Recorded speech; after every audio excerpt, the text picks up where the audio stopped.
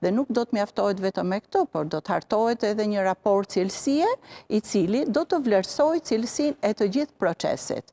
Dhe raporti i cilësisë është ai që të themi certifikon apo vërteton vërtetësinë e të gjithë sa jemi duke biseduar së bashku. Edhe gjithë cilësinë e këtyre të dhënave. Ndërkohë në tetor priten të dalin të dhënat sektoriale apo më të detajuara, pak a shumë, deri në çfarë niveli shkojnë ato të dhëna?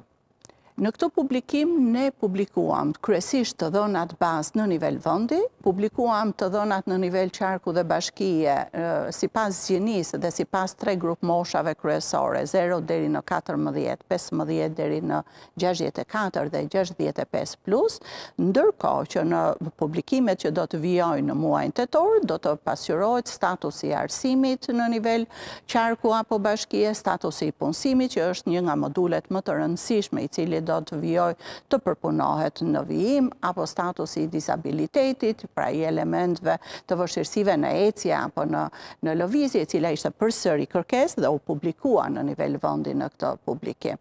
Pra, informacione të cilat ne do të publikojmë në vijim do të jenë në nivel qarku, në nivel bashkie dhe në nivel hapësire gjeografike që ne i referohemi një kilometri katror, që është njësia më e vogël e publikimit të disa treguesve, të cilët duhet të jemi patjetër të kujdesshëm që të mos zbulohet konfidencialiteti dhe informacione të detajuara.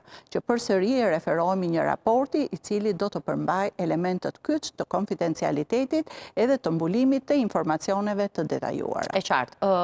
Ndërkohë, duke marrë parasysh eksperiencën tuaj të gjatë, pavarësisht se pyetja mund ta kalojë pak tagrin tuaj institucional, po me gjithë respektin e një profesionisti në këtë fushë, që aq më tepër ka finalizuar një proces kaq të madh e të vështirë, një pjesë e të dhënave ende nuk janë bërë publike dhe sigurisht që nuk do të mund t'i themi në këtë moment, por në syrin tuaj, zonja Dhuli, cilat janë problemet më kryesore me të cilat përballet Shqipëria sot, që kanë dalë nga ky cens dhe me të cilat nesër ne do na duhet të përballemi apo të adresojmë politika të caktuara.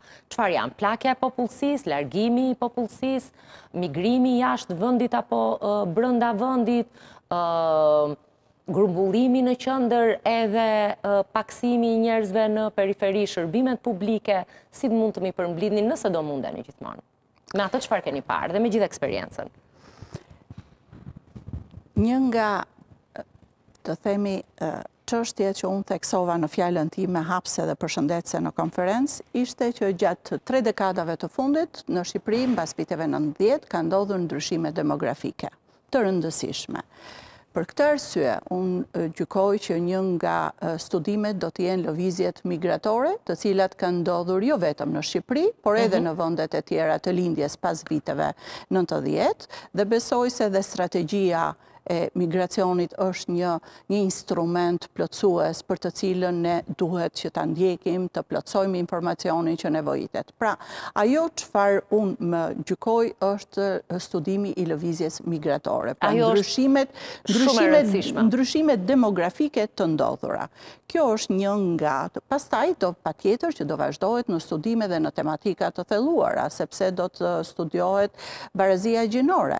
që është një element, statusi i punësimit, sikurse e përmenda, apo situata e grupmoshës së të rinjve, pra do jenë studime të thelluara, apo klasifikimi territorial, apo kushtet e jetesës, sepse ishin pyetje shumë të rëndësishme të pyetura për të matur kushtet e jetesës. M'u kujtua tani, një nga shifra që ka bërë më shumë lajm ditën e djeshme, përveç të tjerave dhe përveç shifrës së rezidentëve, ka qenë 33% i apartamenteve që janë bosh.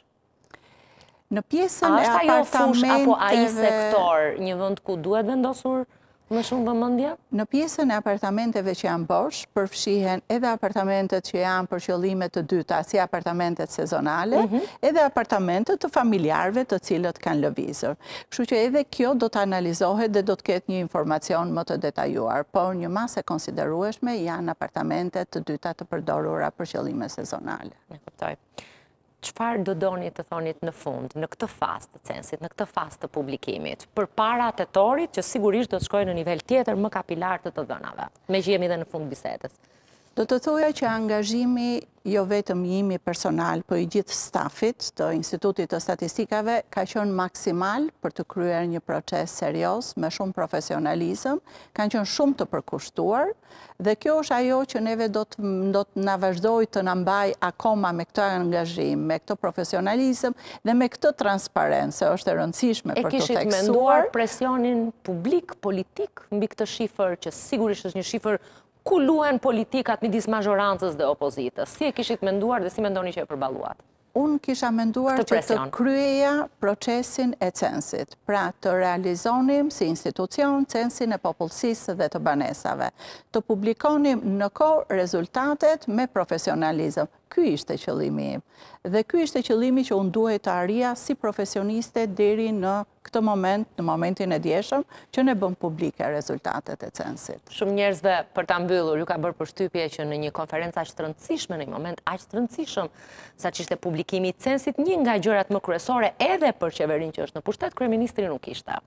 Nuk e thirrët apo ka shmangur çdo lloj uh, le themi, perceptimi për ndikime politike në këtë shifër. Nuk është pyetje që mund të më drejtohet mua për këtë, Po jo, gjithsesi ju mund të na thoni nëse e keni thirrur, apo nuk e keni thirrur dhe ka qënë aty, domethënë nuk ka qënë për çështje axhende. Ne kemi ftuar këdo, pra, e thashë që në fillim, kemi ftuar... Pa ndonjë prioritet protokollar. Përfaqësues mhm. të qeverisë, kemi ftuar përfaqësues të grupeve të interesit, kemi ftuar anëtarët e Këshillit të Statistikave, kemi ftuar përfaqësues të shoqërisë civile, përfaqësues të organizatave ndërkombëtare, pra kemi bërë një ftesë të gjerë, në mënyrë që të kishim sa më shumë pjesëmarrje për të prezantuar njëkohësisht tek të gjithë grupet e interesit, pjesën e rezultateve të censit. Kjo ishte e rëndësishme. Për neve kjo ishte e rëndësishme. Edhe kjo u arrit. Dhe them që ia arritëm qëllimit sepse vërtet pjesëmarrja ishte e konsiderueshme dhe momenti i prezantimit, jo vetëm i metodologjisë së ndjekur, por edhe i rezultateve,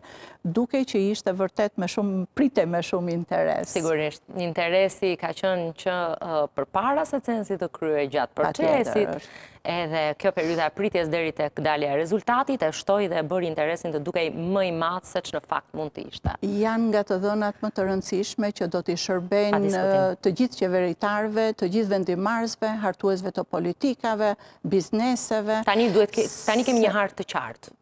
Tani kemi një informacion që është një pasuri, në fakt, është një pasuri e çmuar, për të ndërtuar një të ardhme bazuar në këto informacione të cilat janë mbledhur nga censi i popullsisë e banesa.